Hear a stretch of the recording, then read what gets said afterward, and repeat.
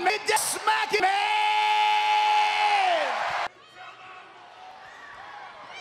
You are standing in the house that J.A. Stone